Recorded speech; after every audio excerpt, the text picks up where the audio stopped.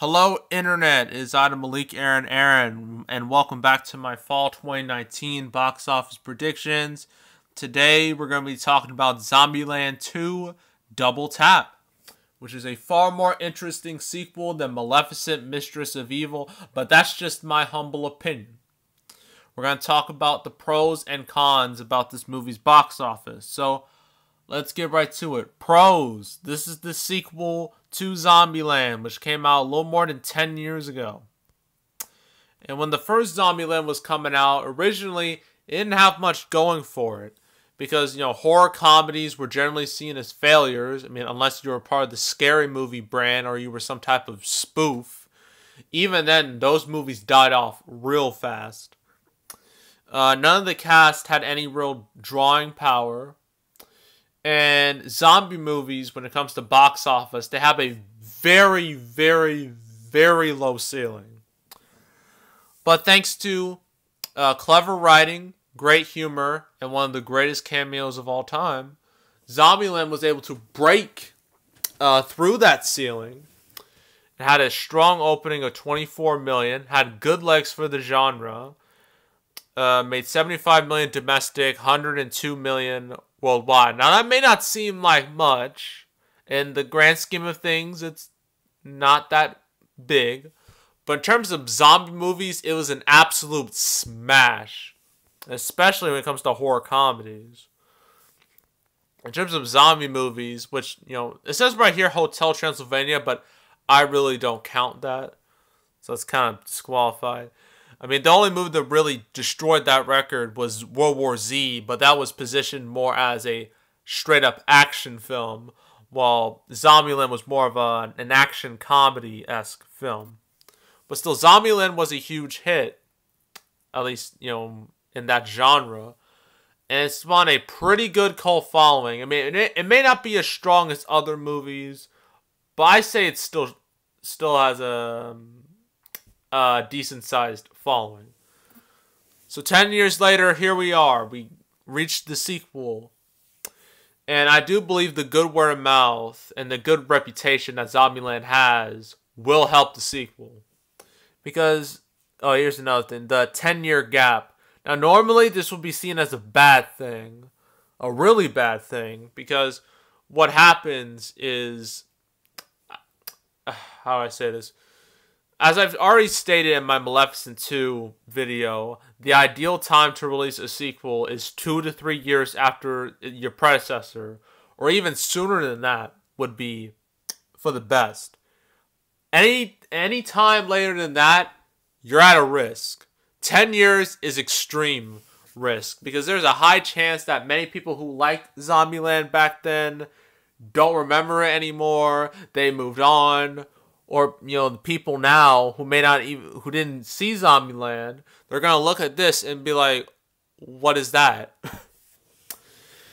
but again, I do think Zombieland's cult status, its strong cult sa- cult status, will help it because now that's 10 years old, it's now seen as nostalgic. And nostalgia is a very powerful thing in today's entertainment industry. I mean, look at the box office for The Lion King and Aladdin and Toy Story 4. I mean, all those movies just were just you know, the blood of those movies was filled with nostalgia.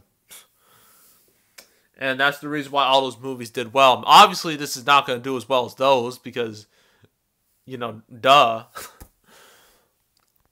but I still think nostalgia will help this movie. And the next thing is that since Zombieland, you know, all a lot of these actors, you know, Woody Harrelson, Jesse Eisenberg, Emma Stone, Abigail Breslin, they've been able to um what's the best way to say this? Uh, improve their clout, especially Emma Stone. I mean, ever since Zombieland, she shot up. I mean, she was in the Amazing Spider-Man movies, which admittedly weren't very good. I mean, she had Easy A. But her big, the big thing with her was La La Land, where she won an Oscar for Best Actress. So I think out of everyone in this cast, she's clearly been the most successful. I mean, Jesse Eisenberg, literally a year after Zombieland, he played Mark Zuckerberg in The Social Network, and he got nominated for an Oscar. In fact, everyone in this cast, these four, were all nominated for Oscars, and they showed that in the marketing campaign. I think the reason why they, they did that because it's hilariously ironic that all these actors who did prestigious things are in this movie. so, I mean, it does, you know, it does work, you know, when you think about it. And it's the only real comedy in the market. The, royal, the only real R-rated comedy in the market. The last R-rated comedy to come out was Good Boys, and that did pretty decent. So, you know, the the market's wide open for one of these movies. And I think Zombieland Double Tap will I mean, it won't do amazing, but it'll make a solid impact. Cons, there's not too many cons about this movie. I mean, maybe this movie could be a bit front loaded because, like, you know, the first Zombieland has such a, a, a strong fan following. It could hurt its potential sales, but that's more of a we have to wait and see approach. You have to wait and see, you know, how front loaded it is. I mean, if it has good legs, great. If it's super front loaded, well, that's a shame. But I mean, the movie only cost forty two million, so it's not going to lose that much money. Oh, another positive forgot to mention is potential. I'm not saying this is going to happen, but this movie could have potential overseas growth in comparison to his predecessor because the first Zombieland did weak business overseas. But you know, since again, it's been 10 years since that, you know, movies are a lot more international now. So there's a chance this could have higher grosses internationally, which will definitely help it. And yeah, that's pretty much it for Zombieland 2. Uh, opening weekend, I'm going to say 30 million. I think it will have a higher opening weekend than the first. If it doesn't, I'm going to be shocked.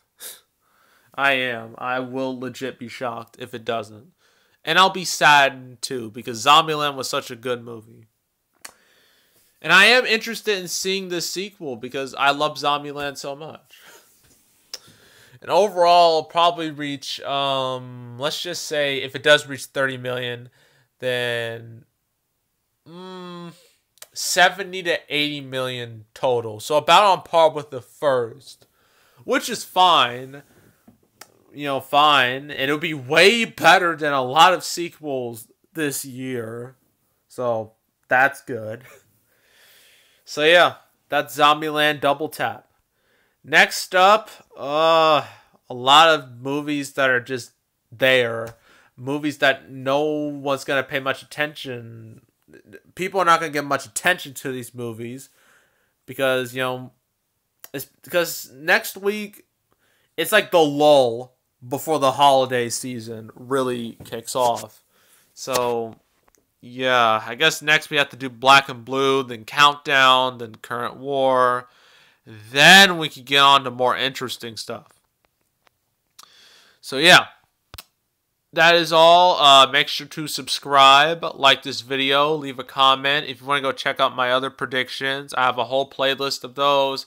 I have my fall 2019 playlist. Want to look at past playlists? I have summer blockbusters, summer non-blockbusters. You can go watch those. You see how badly I screwed up on those, because uh, it still keeps me up at night. How bad I'm, how horrible I am at this job. But yeah, that is all, and I am out.